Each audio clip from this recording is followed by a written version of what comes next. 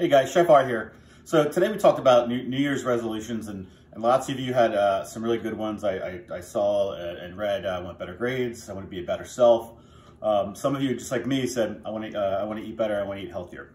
So um, we're going to combine those resolutions with uh, some cooking methods. So I'm going to show you some different cooking methods that can uh, get you where you need to go as far as um, creating better habits for food. So the first thing, um, I'm just I'm cooking dinner tonight. Uh, I have some green squash here, or zucchini. I got some yellow squash, and then I have some um, some beef tenderloin or filet, whatever you want to call it. It's gonna be a pretty simple dinner. So the first thing I do is I'm gonna cut the zucchini and squash. Now, I have my Santoku knife here, right? If you guys remember, Asian style or Japanese style knife with the, the blade going down like this. And it has those bevels so that food won't stick to the, to the knife. So I'm just gonna start cutting this zucchini. And what I'm gonna do, since I'm sauteing it, is I'm gonna cut it in half. And then what I'm gonna do is just create some little half moons here. So I'm doing like, uh, I don't know, quarter inch slices here. Now, saute means to jump in French. So this is gonna be a pan. If you look behind, I've got a saute pan that's already on a heat, and I got another pan, a cast iron pan, to do the steak. So the main thing I'm looking to do here is make sure that I keep the zucchini and squash all the same size, all the same size. If they're bigger or smaller, then while you're sauteing, you can have zucchini that's done, and while the other the other zucchini is raw. We don't want that. So I'm gonna quickly go through this. Uh, I like cooking with uh, zucchini and squash. It has a lot of nutrients. It's really good for you. Uh, that's also relatively quick to cook. We don't have to uh, spend a lot of time with this. So once we get this cooked or cut, excuse me, we're gonna go to and talk about the steak. All right, so now I got my squash. Again, here I'm just cutting it in half to make it more manageable. And then I can cut it in half again.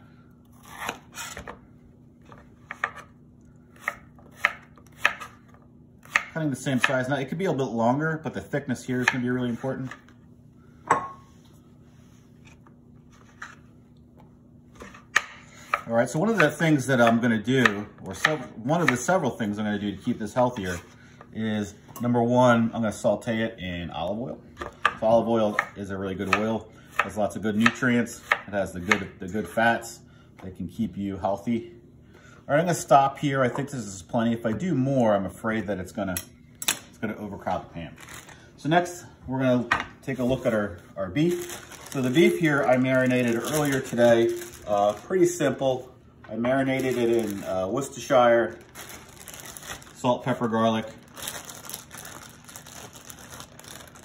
All right, and you can see what I'm doing here is I'm putting it on a paper towel. You can see a little bit of the liquid from the marinade, maybe from the salt, kind of pulled out some of that liquid. What I'm doing here is I'm blotting this dry. So when I go to sear this, right, so we're gonna sear the steak and then we're gonna roast it, finish it in the oven. All right, so the first, first cooking method we're gonna do is searing. All right, so I really wanna make sure this is dry. If the liquid stays on there and I go to sear, what will happen is you'll see lots of liquid come up and the pan will get wet and then we won't get the proper browning. So we want this to be nice and brown when we go to sear it. So one of the things I do that's a little bit different than maybe most is I like to oil the meat versus oil the pan. All right, I get a better sear with that and I get less, less of the oil breakdown when I go to cook later. So I'm gonna oil both sides.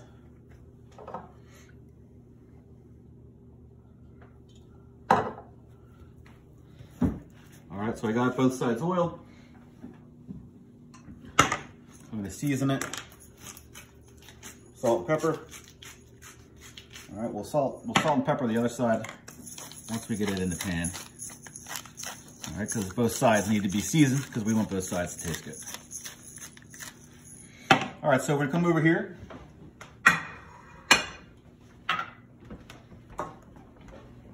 All right, so I have my pan here, cast iron pan. I've got it on a medium high heat. We can tell from past experience, right? If we see, you can see a little smoky wisps kind of come on. If I put a little bit of oil in that pan, which I don't need to do, it starts to smoke right away. So for searing purposes, that's what we're looking for. So we're gonna just drop this steak right in the pan.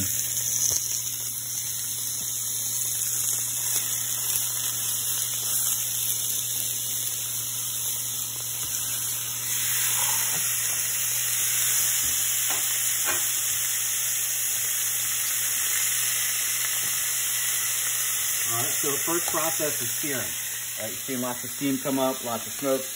All right, you can tell. All right, if you start to pull it, pull it up and it starts to stick, just leave it there. All right, the protein needs to coagulate, tighten up, and when it does that, it'll release from the pan. So with the amount of oil we have, all right, so here you can see really quick, right, we're getting lots of caramelization here. Now, in our ticket, we talked about, all right, this is still pulling, so I don't want to, I don't want to try to rip it off. I'm just to let it cook.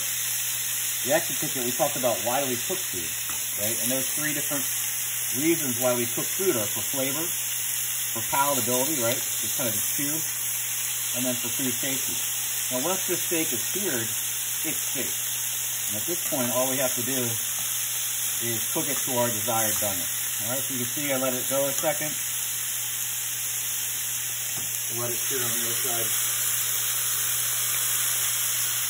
Now we're gonna put this in the oven. I'm gonna go medium rare on this, so I'm thinking about five or six minutes. We're gonna go right in the oven and we're gonna we're gonna finish it off by roasting. All right, which leads us to our saute pan. All right, so if you take a look at the pan, you'll notice that the pan is flat bottom and has sloped sides. And it has one handle. All right, that way when I go to move it or to jump, I can easily do that. So we're gonna turn this up a little bit more. All right, so here I'm just putting my hand here to kind of feel the, the convection of that heat. I wanna, all right, the best way to test it, all right, is we can use a little bit of oil. All right, just like we did before. Now, if it doesn't, here we see we got some smoke. All right, so we're good. So I'm just gonna put that to the side. It's got a little bit more smoke than I wanted. Thought it wasn't hot enough and now it's plenty hot. So when we put this in, we should hear. All right. I'm gonna do this in batches because I think this is too much for the saute pan.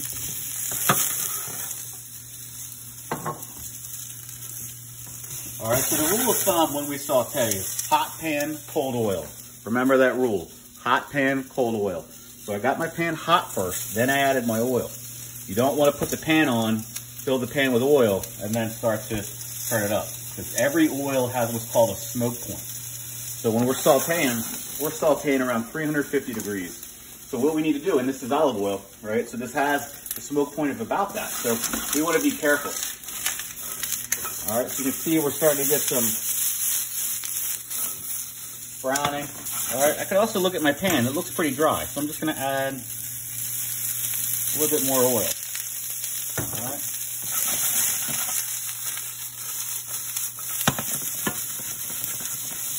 All right, so we're starting to get some good browning, right? That's flavor right there. Again.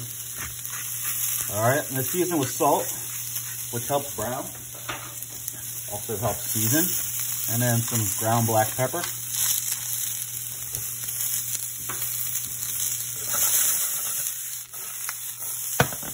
So the motion as I'm doing here is I'm using that lip of the pan to send the food in, and then I'm just gonna kind of go like this with my wrist. And that's gonna keep it moving. Keep it moving. It also creates convection within the vegetables themselves.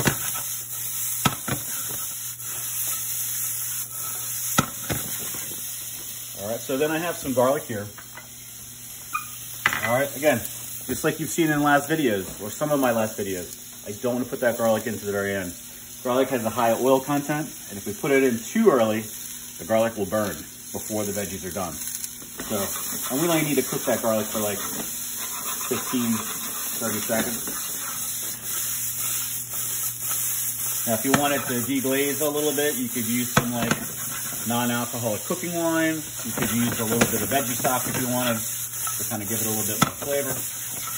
Um, and then Now we're gonna add our garlic. Once I add the garlic, I'm pretty much just gonna turn this off.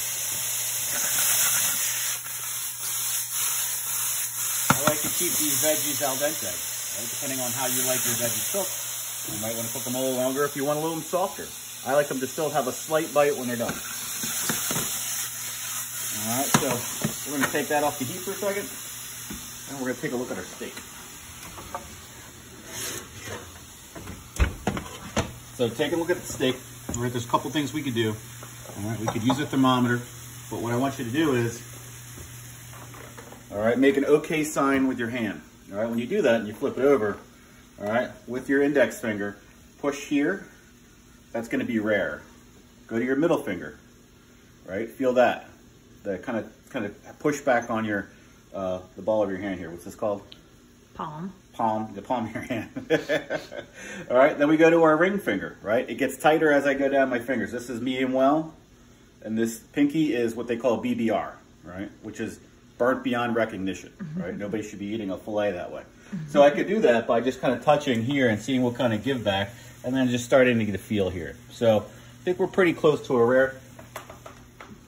What I'm gonna do is flip these guys over, and then I'm just gonna take some foil and let them cool. Because I think, yeah, see, they're a little bit more, a little bit more on the medium rare side. So I'm gonna let this cool now. I'm gonna put this to the side, cover it with aluminum foil, and then what we'll do is, once they get everything together, all right, after it's cooled a bit, a minute, we'll kind of plate it up and show you what it looks like. All right, bye.